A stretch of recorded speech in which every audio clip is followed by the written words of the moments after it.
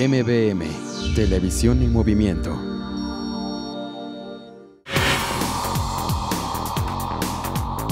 Bien, y este es parte del escenario que tiene el Hospital General Laureano.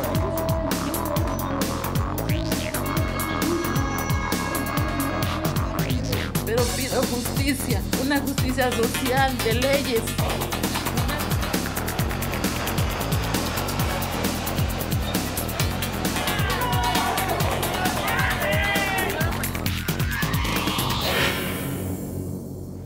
Auditorio de MBM Televisión, les saludo muy cordialmente en este viernes 12 de junio, preparándonos seguramente para festejar a papá el próximo domingo. Bueno, hoy 12 de junio eh, es un día sumamente especial, un día destinado a la protección de los niños y las niñas y adolescentes, estos jóvenes que por diversos factores tienen que salir a la calle a ganarse el sustento diario. Le comento rápidamente la Organización Mundial del Trabajo. Eh, desde el año 2014 se ha pronunciado intensamente por la protección de los derechos de los niños y las niñas. Ha dicho tajantemente no al trabajo que ejercen los menores de edad, pero sí a una educación de calidad.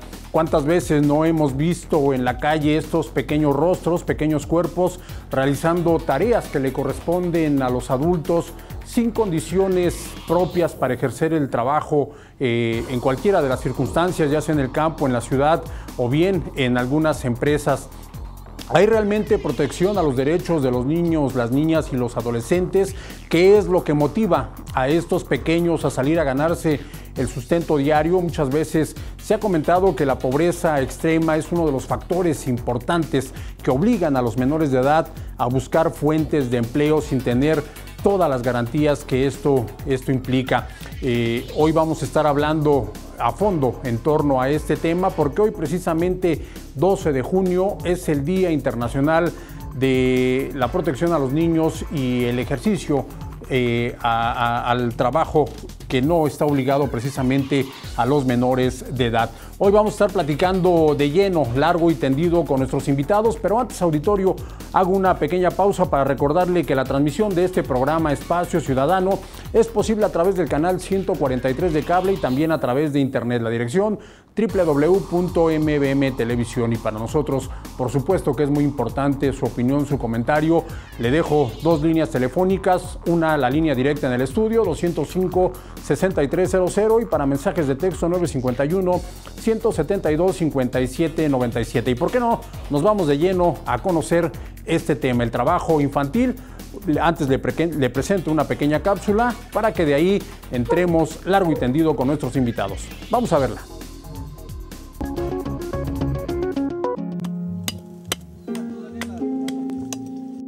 Una de las caras de la pobreza en Oaxaca. De sus 570 municipios, 448 presentan rangos más que preocupantes de pobreza extrema.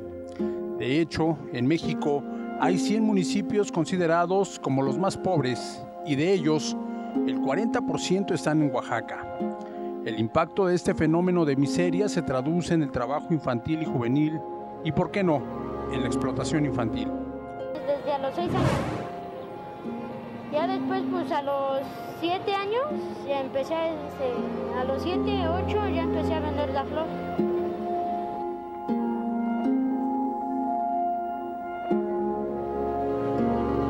Menores de edad y adolescentes que han perdido todos sus derechos fundamentales, derecho a la familia, al estudio, a una vida digna.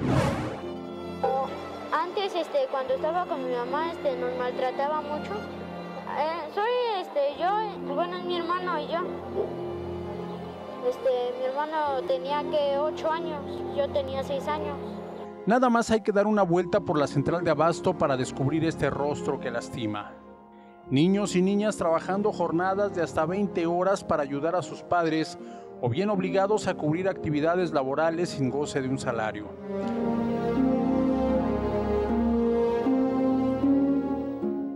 En el 2010, en la población de los 5 a los 17 años, se registraron 158.340 casos de menores de edad realizando trabajos domésticos en Oaxaca, como vendedores ambulantes, en cruceros viales, en talleres, en el campo, incluso hubo casos de trabajo forzado o como víctimas de explotación sexual. Según el INEGI, ninguno de ellos cumple la edad mínima para poder trabajar, como lo establece la Ley Federal del Trabajo. Los menores varones superan hasta en un 100% a las niñas que trabajan. Llegan a la capital procedentes de comunidades marginadas. Hay otros que emigran solos a los Estados Unidos, ya sea en busca de sus padres o pretendiendo encontrar ahí una fuente de empleo, por lo general en el campo, cubriendo jornadas extenuantes, pues el trabajo que realizan se compara al que realiza un adulto. Las principales causas por las que un niño o un adolescente trabaja son por necesidad motivada de la pobreza, para pagar su escuela o sus propios gastos y para aprender un oficio. Y ello los lleva a exponerse a sufrir accidentes, fracturas, heridas o acoso sexual. Con información de Espacio Ciudadano, imágenes de MBM Televisión y redes sociales. Y bueno, el lema de la Organización Internacional del Trabajo en este año 2015, no al trabajo infantil, sí a una educación de calidad. Pero ¿cuál es el panorama que tenemos en Oaxaca? Hoy lo vamos a conocer como ya se lo comenté, largo y tendido con nuestros invitados, a quienes les voy a dar la más cordial bienvenida. Primeramente, Lucero Serrano Mójica, jefa del Departamento de Comunicación Social del SEDNA. ¿Qué es el SEDNA? El SEDNA es el Consejo Estatal de los Derechos de los Niños, las Niñas y los Adolescentes en Oaxaca. Lucero, bienvenida, muchísimas ¿Qué gracias. Tal, José Antonio? Muy, buenas, muy buenos días y gracias por la invitación. Muchas gracias a ti, Lucero. También le doy la más cordial bienvenida a Óscar Noé Martínez Morales, procurador para la defensa del menor, la mujer y la familia del sistema estatal DIF. Procurador, bienvenido, muchísimas Muchas gracias. gracias por la invitación. Y claro que también nos da gusto recibir el día de hoy en este foro de televisión a Dante Jiménez Calvo, jefe del Departamento de Políticas Públicas del SEDNA. Dante, bienvenido, muchísimas gracias. Buen día. Bueno, ¿por qué no nos platican antes de, entrar de lleno a este, a este tema? ¿Cuál es el panorama que tenemos en cuanto al trabajo infantil en Oaxaca, procurador? Bueno, pues antes que nada, nuevamente, buenos días y buenos días a todos los, los televidentes. Eh, en realidad, pues digo, es un panorama que no es tan alentador desde la óptica de que sigue existiendo ¿no? eh, eh, de trabajo infantil. Este, nosotros, a través de el sistema DIF, particularmente la Procuraduría de la Defensa del Menor, Mujer y Familia, este, hacemos un trabajo constante, diario. Eh, tenemos un grupo de personas que acuden a diferentes puntos de la ciudad o en lugares en donde se nos informa que hay niños, niñas eh, realizando este, esta actividad un trabajo que de acuerdo a su edad no está permitido.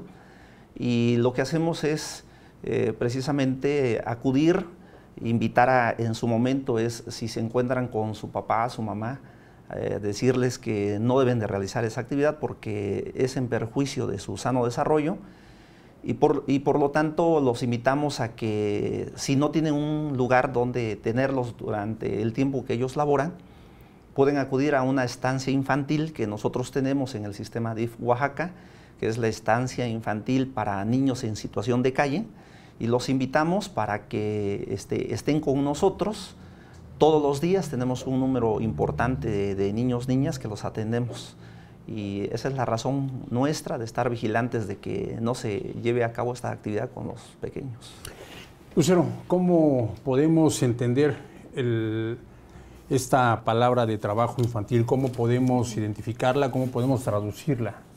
Sí, creo que es importante que, que, comprendamos que el trabajo infantil es una situación que engloba varios aspectos, ¿no? intersectoriales e interfactoriales, y que corresponde siempre a un entorno social, cultural y económico de cada región o de cada país.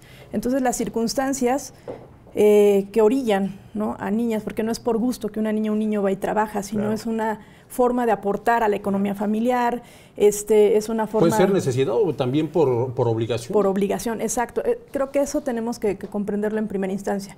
El segundo punto es que eh, hay otras formas, de, bueno, hay formas de trabajo infantil que lo que reducimos o que lo convertimos en explotación laboral de niñas, niños y adolescentes. Eso es lo que es realmente un trabajo infantil, explotación de diferentes formas a una niña, un niño o un adolescente eh, por dif diferentes razones, ¿no?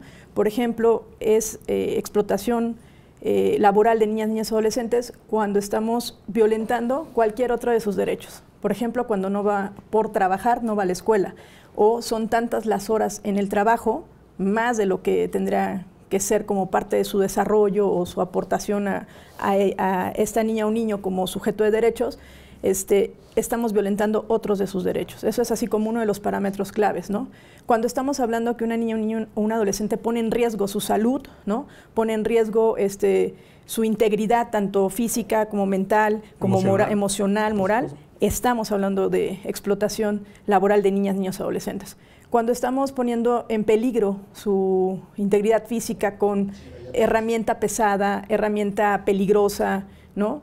Porque ahorita vamos a platicar un poquito más a fondo, ¿no? Pero es muy delgadita esa línea, decíamos, es un tema que siempre estamos comentando con las y los compañeros del SEDNA, que es muy delgada esa línea en donde eh, cuando o no es trabajo infantil, no solo es la edad que por ley, ¿no? que en el artículo 123 se establece y que incluso a partir del año pasado se, se aumenta, ¿no? que era de 14 años, ahora sube a 15 años. Hubo una modificación Hubo a la una ley. modificación a la ley. Entonces, este, no solo es eso, sino concretamente también en las condiciones en las que esta niña, niño o adolescente está realizando esas funciones. ¿no? Bien, Dante, eh, ¿el trabajo dentro de la casa se considera como trabajo infantil? Eh, bueno, justo es ese Ah, hay, tener, tener pero, pero, claro- hay, hay otra línea también muy delgada, ¿no? Eh, Sí. eh, el diferenciar entre el trabajo que realizan los niños en la casa al que realizan en la calle, por ejemplo. O en el campo, ¿no? O en el campo, Que eso también es muy importante. Sí, justo, eh, pues eh, hay que tener bien claras estas diferencias. Eh, cuando hacemos una actividad de colaboración en, en el hogar, eh, que nos permite ir a la escuela, que nos permite tener momentos de recreación, juego, esparcimiento, pues no es trabajo infantil. Por ejemplo, el, el- el colaborar en, pues quizás tender la cama, eh, levantar los trastes de la mesa, el barrer el patio, son actividades que, que prácticamente no violentan sus demás derechos. Eso es una actividad pues que le ayuda a, a- a ir, eh, digamos, preparándose para y de una vida forma futura. también obligaciones que tienen los niños dentro del, del Sí, del son hogar. actividades de colaboración que, el- que les corresponde realizar dentro de su hogar, ¿no? Es algo que no debemos de confundir, ¿verdad? Eh, el, el hablar de no al trabajo infantil significa, no significa que los niños no hagan o no cumplan con deberes dentro de la casa. Es cosa muy distinta la actividad que ya realizan en la calle con intención de ganar un, un sueldo, un sustento económico, ¿verdad? Vamos a hacer una pequeña pausa, regresamos de inmediato auditorio, esto es Espacio Ciudadano, transmitimos a través del canal 143 de cable y también a través de internet. Vamos y regresamos.